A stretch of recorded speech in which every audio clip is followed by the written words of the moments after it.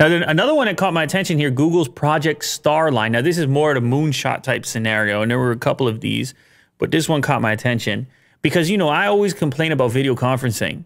I, I'm always telling you, man, you got this uh, low latency gamers have all these people connected, and they're, and you're talking precision gunshots across God knows where, and they don't miss a frame. And then I hop on the video conferencing apps like, was, What? What? doesn't, You say that again? Could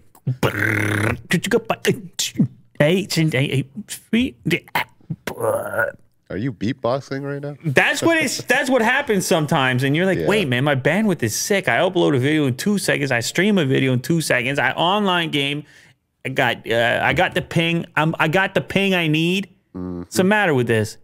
And for whatever reason, it's just been. eh, I guess I don't know what the complexities are and the challenges for a company like Zoom or Skype or whatever whatever it is we're ha- we happen to be talking about. But it would just be so nice to have a more fluid, organic, like even for a show like this, if I could bring in a guest and have a, a truly lifelike experience of interacting with that person, mm-hmm. you might call that a game changer right there.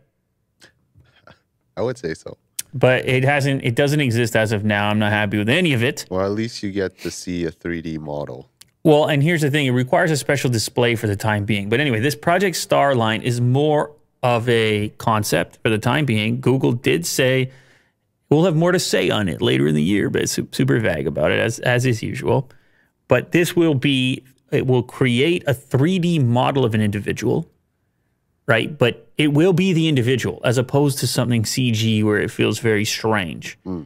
And then it will use a specialized, and it has, it will be very high resolution as well and it will create this 3D version of the individual.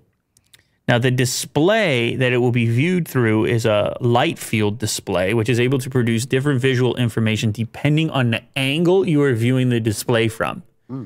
So if you move from side to side, all of a sudden you're you're going to I'm going to if I go I see the side of Willie do if I go over there, I go this way, I see the other side, you see? Hmm. Very you're very realistic right now Y- yeah, as I should be.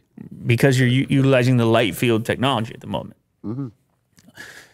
No, he's actually here, ladies and gentlemen. But who knows? Maybe he wants to be. Uh, maybe he. Maybe he needs to find himself on back in Iceland. You were just talking. You're going back to Iceland. I don't know when you're going to go, but maybe you're going to come into the show from Iceland on a light field display with the 3D model. Yeah, sure. And set of a fireplace, you got the do you got like the hot springs, or maybe you got the the uh, molten rock that has hardened. It's exploding behind me. well, that could be that would be cool as well. Yeah. Uh, I but mean, he- thi- yeah, this is cool technology, I would say. yeah, and it's not unprecedented. There's been that kind of like hologram tech that we saw. Like uh, P Diddy was couldn't be at his son's birthday party, and then he had this, and it's very boutique at the moment. And Sure, it costs yeah. a ton of money, and it's not e- easy to roll it out for the masses. Because if you think about it, Will, if you have a high quality image being streamed, and it's a 3D model of such a thing, and then you start questioning bandwidth, don't you? You can't help it. You start saying, "Oh, um, well, this bandwidth thing." So it's going to be a unique. It's going to be a difficult challenge, but Google's at least playing around with it, attempting to improve it. And if you go watch the video, you're going to see, like, damn, that's uh, pretty wild to see how realistic it actually looks.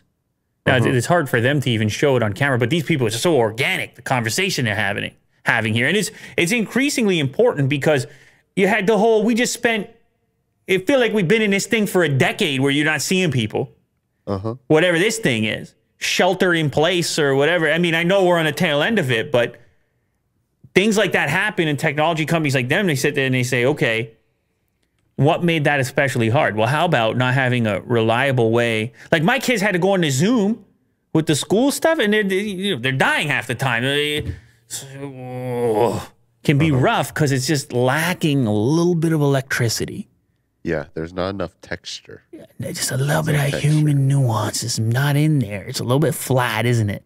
Mm. A little bit flattened right out. So I can't wait for that real And and you know what I'll deal with right now? Don't even give me the 3D. Just give me super low latency. Yeah. Because you even see between you and I, it's like there's a second you got to jump. You go I, wherever it is. You go now. Yeah. You see what I'm saying? Yeah. yeah Jokes are very hard on That Zoom. tiny bit of latency. It's like we a we need to make jokes. communication and conversation and latency takes away precision in the same way that would happen within a video game. Sure. Yeah. You're just blunted. You're you're, you're walking around. er, If, if you're glitching and lagging, forget about making a precision play. Well, you better forget about having that precision convo. You better forget about having that flow to it, that high level version of it. yeah. No lag plus this. Let's that's go. the future. Let's go. Let's do it.